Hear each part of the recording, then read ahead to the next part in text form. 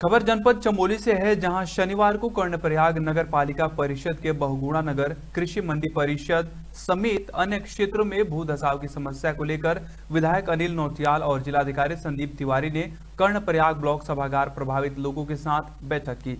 इस दौरान उन्होंने प्रभावित लोगों को भू धसाव क्षेत्र में प्रस्तावित सुरक्षात्मक कार्यों की जानकारी दी और उनके सुझाव भी लिए। बैठक के दौरान जिलाधिकारी ने बताया कि बहुगुड़ा नगर में भूधसाओं के ट्रीटमेंट के लिए सिंचाई विभाग के माध्यम से इकतालीस करोड़ का आंगणन तैयार किया गया है। इसके तहत ही यहाँ सभी घरों को ड्रेनेज सिस्टम से जोड़ा जाएगा और विस्थापन के लिए प्रभावित लोग तैयार होते हैं। तो विस्थापन के लिए भी त्वरित धनराशि दी जाएगी। चमोली से संदीप कुमार की रिपोर्ट।